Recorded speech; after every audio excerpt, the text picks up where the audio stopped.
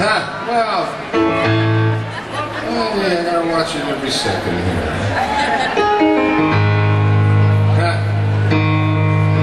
Another old one.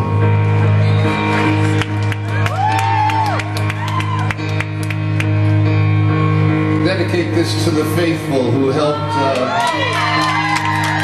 helped me get through the last year and finish this project.